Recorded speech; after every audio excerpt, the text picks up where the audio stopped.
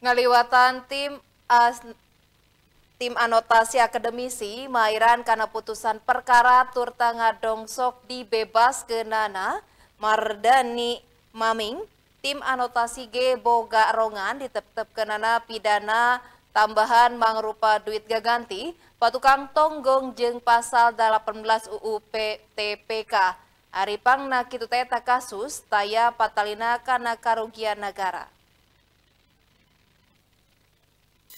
Poe Jumat pas sore pernah di Rohang Auditorium Magister Hukum Universitas Pajajaran Kota Bandung, Fakultas Hukum Universitas Pajajaran ngaliwatan tim anotasi akademisi ngalakonan acara pernyataan jeng anotasi karena putusan perkara ngadongsok Nana Mardani Hamaming.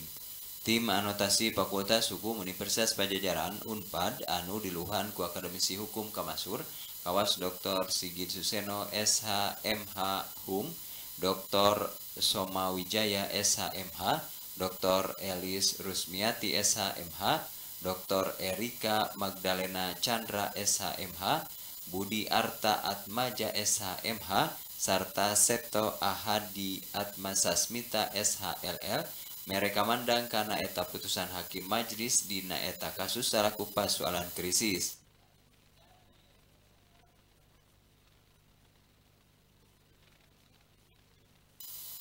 Lampah terdakwa Mardani Hamaming tenuhonan unsur-unsur tindak pidana sakumaha dirumuskeun dina pasal 12 huruf B UU PTPK dasarna minimal dua alat bukti dina fakta persidangan.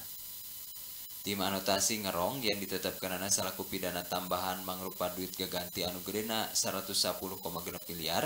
Patukang tonggong jeng pasal 18 Undang-Undang PTPK anu ukur berlaku ke tindak pidana anu ngabalukarkeun karugian negara turta eta kasus teta ya patalina kana karugian negara. Kami sebagai tim anotasi ya tadi sudah sampaikan beberapa orang yang memang mengkaji putusan itu.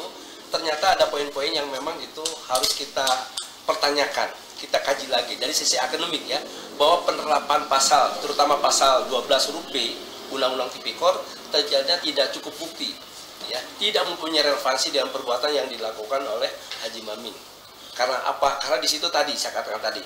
Jadi beberapa unsur yang memang itu dipastikan atau memang didapatkan ternyata tidak didukung dengan alat bukti yang kuat Dr. Soma Wijaya mere catatan yang tuduhan penerimaan hadiah ke Mardani Hamaming ukur dumasar karena asumsi tan ayah kekuatan bukti anu sah di persidangan.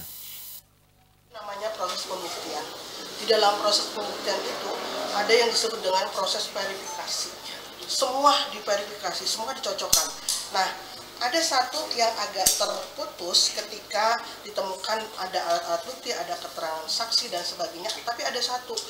Karena yang namanya uh, pasal 12B itu berkaitan dengan penerimaan uh, suap atau katakanlah gratifikasi tadi ya itu harus ada harus ada uh, apa yang menjadi alat bukti atau dasar pembenaran dari mana uh, itu sampai kepada si uh, apa namanya si penerima tadi Dumasarkan hasil mutolaah, tim anotasi Fakultas Hukum Universitas Pajajaran yindeken sakan Mardani Hamamin dibebaskan tina sakumna dakwaan turta dipupulihkan ngaran HD katut martabatna.